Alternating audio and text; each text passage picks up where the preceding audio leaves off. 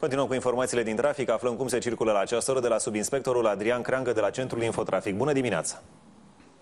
Bună dimineața dumneavoastră și telespectatorilor. Informăm, Centrul Infotrafic din IGPR informează că la această oră se circulă normal pe majoritatea drumurilor naționale și pe autostrăzi, nefiind anunțate probleme deosebite de fluență a traficului sau artere rutiere blocate.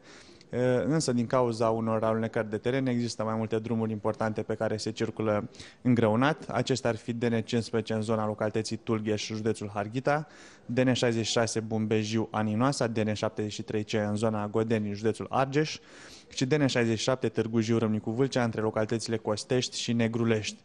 De asemenea, din pricina căderilor de pietre, traficul rutier se desfășoară pe un singur fir alternativ pe DN10 Buzău-Brașov, între localitățile Siriu și Chirilești în județul Buzău.